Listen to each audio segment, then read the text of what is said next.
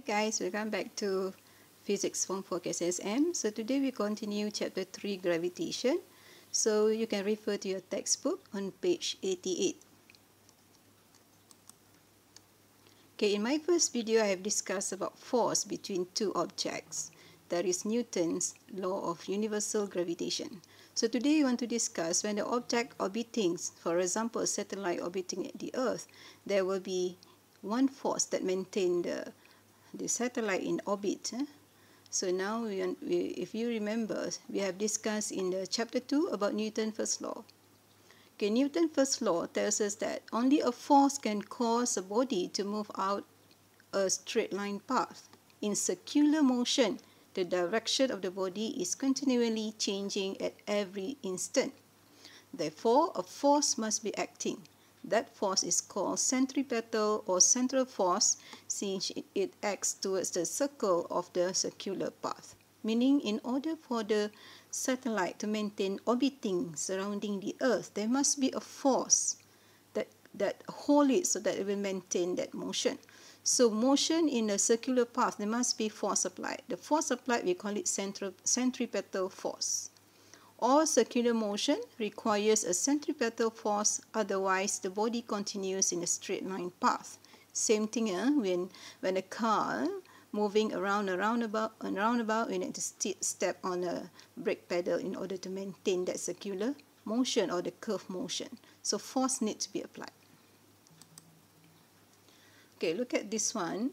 We tie a cork with a string and the end of the string we, we hang a load so now let the cork rotate in horizontal motion so that produce circular motion. So when a body is rotated at certain uniform speed with the string almost horizontal, the effect of gravitational force on the circular motion of the body can be ignored. Though the speed is uniform, the direction of motion of the body keeps changing. So you can see the direction of V, the velocity, direction keep changing uh, once the object rotates or move in uniform circular motion. So the force is required to change the direction of body. We have discussed the effects of force. Huh? We, if we want to change direction of motion, we need to apply force. Okay. So in this case, tension in the string acting as the force. So meaning the tension of the string now is called centripetal force. Same thing happened to the satellite. So the for the case of satellite, for example, satellite orbiting the Earth, so the gravitational force on satellite act as centripetal force. So you can look at this diagram also. So the centripetal force is the force perpendicular to the velocity of the object moving along a curved path. The centripetal force is directed towards center of curvature of the path. So you can see the man still holding the the rope so the object maintain uh, the uniform circular motion. Once he release, you can see the object now flown away from the circle path. Oh, so the one meaning no more force applied, meaning the object cannot maintain uh, the uniform circular motion. So what we can say that we need a force to maintain the object that orbiting surrounding the other objects. So we call it centripetal force. Okay, centripetal force in the motion of satellites and planet. When a body moves in a circle at uniform speed, the body is said to be in uniform circular motion. As example, satellite orbiting the Earth. An object in circular motion always experiences changes in the direction of its motion, even though its space is fixed. So you can see to maintain the circular motion, the speed keep changing. No, the velocity keep changing, eh? or direction eh, keep changing. The satellites always experience gravitational force acting towards the center of the Earth. So the gravitational force on satellite act as centripetal force and direction of the centripetal force is towards the center of the Earth. Okay, now based on the second law, F equals to ma all circular motion requires a centripetal force. Newton's second law of motion tells us that force equals mass time acceleration. Therefore, centripetal force must produce an acceleration. So using the same formula. So we call it centripetal acceleration and direction is also towards the center of the earth, for example. Since the force acts towards the center of circular path, the acceleration must also be towards the center. So all circular motion is accelerated motion. The acceleration is always directed in or in the direction of centripetal force. Okay, now, what are the a factor that affect magnitude of centripetal force. So you can see there are three factors here. Number one is mass of the body. Number two is the linear speed. Three is the radius of the circle. So you have this formula to represent the centripetal force. So we have F equals mv squared divided by r, where F is centripetal force, m is mass of the body, v is linear speed, and r is radius of the circle. So linear speed shows how fast a body moves in a circular motion. Okay, the velocity that keep changing eh, its direction. So we call it linear speed.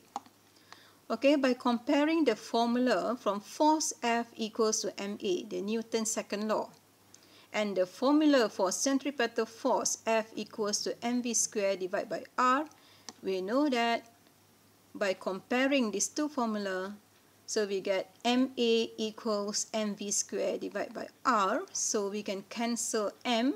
Thus we get centripetal acceleration A equals to v squared divided by r.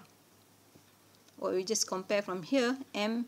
So that's A is equals to v squared divided by r. So this formula is known as centripetal acceleration, where v is the linear speed of satellite, r is radius of the orbit of satellite. Okay, so object launched with sufficient, sufficiently high linear speed will follow trajectory that is circulating the Earth. The object will not return to the Earth. So meaning the linear speed must be high enough so that it will maintain orbiting in the orbit. Okay, look at an example using the formula. Figure shows a hammer throw athlete swinging an iron ball in a horizontal circle before releasing it. What is the centripetal force that acts on the iron ball when the iron ball is moving at a speed of 20 meter second to the power negative 1? Okay, now we look at the diagram. So we have the radius from the point where the man is holding the string. So until the hammer, eh, the hammer. And then that one we mark as small r equivalent to 1.8 meter the mass of the hammer 7.2 kilogram. Thus we have the formula, the centripetal force. So F equals to mv squared divided by r. So we just substitute here. So we have m 7.2, the velocity uh, or the speed uh, 20. So 20 squared divided by r 1.8. Thus we get 1600 newton. So this is the centripetal force that produce. Okay, now example 2. Figure shows a weather satellite orbiting the Earth at height h 480 km. Linear speed of the satellite is 7.62 times 10 to the power 3. The radius of the Earth r is given. What is centripetal acceleration of the set of the satellite? Okay, so we have height of satellite in kilometers, so you convert to meter. Linear speed and radius of the Earth. Okay, now go, we use the same formula, A equals to V squared divided by R. But remember, the small r is the distance between center of the Earth to the satellite. To the satellite. That's why here we need to add a radius of the, of the Earth plus height of the satellite. That we have R plus H. So now we just solve the problems and then we get A equals to 8.48 meters second negative 2. So this is the value of centripetal acceleration for the satellite. Okay, now we also can determine the mass or mass of the Earth or mass of the Sun, for example. So how can we use the the formula that we discussed before to produce formula so that we can calculate mass of the Earth? Okay, now Remember, we have discussed about Newton's universal law of gravitation. So F equals to G, capital M is mass of Earth, and small m is mass of Moon, and divided by r squared, distance between center of Earth and Moon. So for this case, to in order to calculate mass of the Earth, let's assume Moon revolves the Earth, means the Moon orbiting the Earth. So the, the small m actually is mass of the moon and the capital M is mass of the earth. Then we have G capital M small m divided by R squared. And then the gravitational force is actually is equivalent to centripetal force. So we have formula for centripetal force F equivalent to mv squared divided by R. Then these two formula are same. So now we can cancel m for both side, m and small m, mass of the moon. Okay, so we get, and then what we do the next, okay, we want to substitute the value of v. How we get this value of v?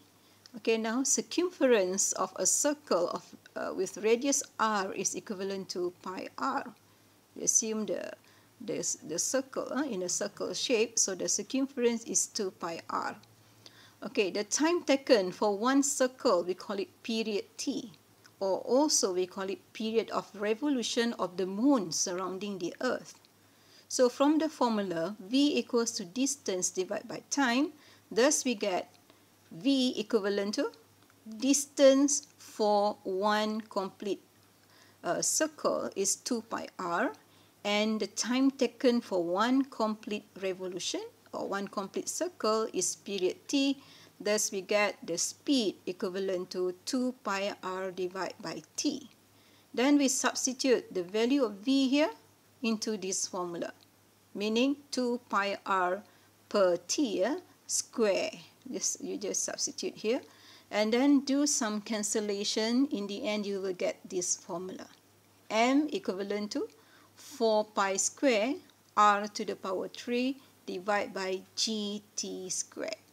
Okay, so in this case, when you want to determine mass of the Earth, we assume uh, or we use the case of moon uh, that revolve the Earth, meaning the value of r actually is the radius of orbit for the moon that evolve that revolve the Earth, and the t here is the period of the moon that revolve the Earth. Okay. So from there, we can calculate, then we get what is mass of Earth. Okay, so we can uh, use the same formula in order to calculate the mass of Sun. So we use the same formula. Okay, look at these two situations. So data needed to calculate mass of the Earth. So we assume moon, moon uh, revolve the Earth. So the small m will become mass of the moon. Okay, so the, the information needed for this one is radius of orbit of any satellite or the moon. If we use moon, meaning the orbit, radius of orbit of the moon and period of revolution of the moon, then we can get uh, mass of the earth uh, using this one. Okay. So, uh, if you want to find the mass of sun, for example, let's say earth revolve the sun. So, m will become mass of the earth. Right but we don't uh, actually you will cancel both sides so here there's no factor eh, mass of the earth okay? So r will be radius of any planet. For example if the earth meaning radius of orbit of earth eh, orbiting the sun and the period of revolution is uh, for the earth that orbiting surrounding this the sun okay? From from there we use the same formula then we get mass of the sun Okay, now look at some uh, problem solving using the formula. Okay, the first question, period of revolution of the moon around the earth, T is given. Radius of the moon orbit also given. Calculate mass of earth M. Okay, let's try number one.